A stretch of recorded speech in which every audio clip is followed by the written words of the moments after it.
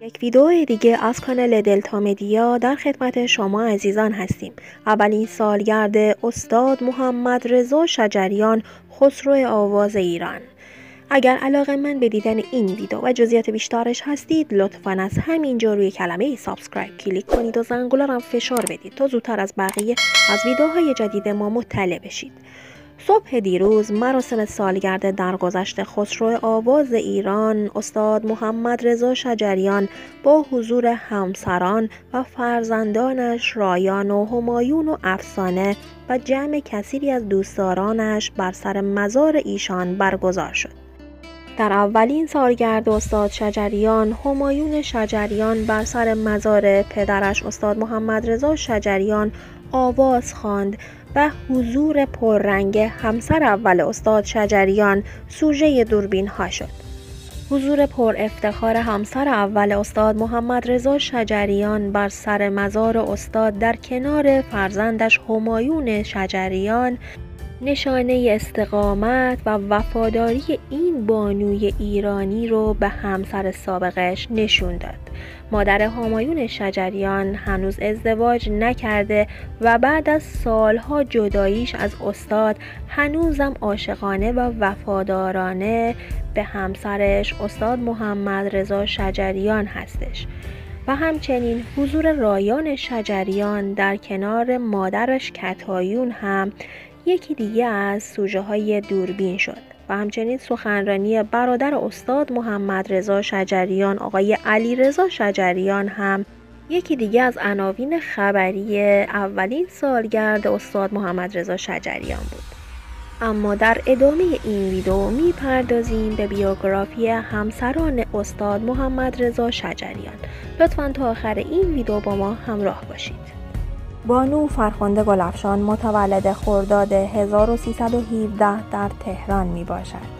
سال 1340 در 22 سالگی به عنوان معلم در شهر قوچان خراسان رضوی با استاد محمد رضا شجریان 21 ساله که او نیز معلم آن دبستان بود آشنا شد. یک سال بعد از آشنایی در 29 مرداد 1341 فرخنده گلفشان با محمد رضا شجریان ازدواج کرد که ثمره آن سه دختر به نام فرزانه، افسانه و مژگان و یک پسر به نام همایون است. راهله یا همان فرزانه شجریان متولد دو مهر 1342 افسانه متولد 28 اردیبهشت 1344 و مژگان متولد 27 اردیبهشت 1348 و همایون متولد 31 اردیبهشت 1354 در سال 1370 زندگی بانو فرخنده گلفشان و استاد محمد رضا شجریان بعد از نزدیک به سی سال زندگی مشترک به جدایی و طلاق ختم شد. استاد شجریان یک سال بعد با بانو کتایون خانساری 26 ساله ازدواج کرد.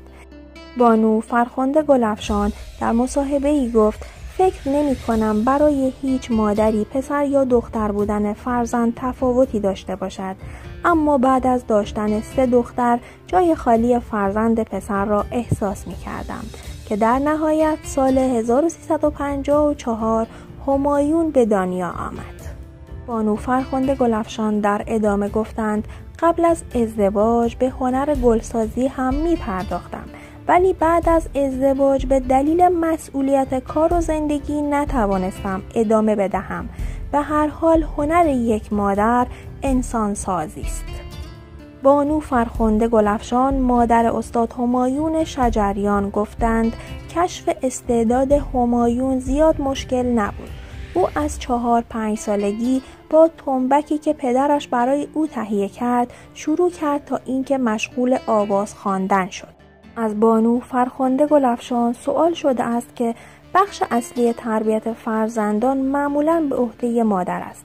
مادر چگونه باعث گرایش فرزندان به سمت هنر می شود بانو فرخنده گلفشان در پاسخ گفتند هنر زیبایی است که از نهاد هنرمند سرچشمه گرفته و با نهادهای دیگران پیوند می‌خورد.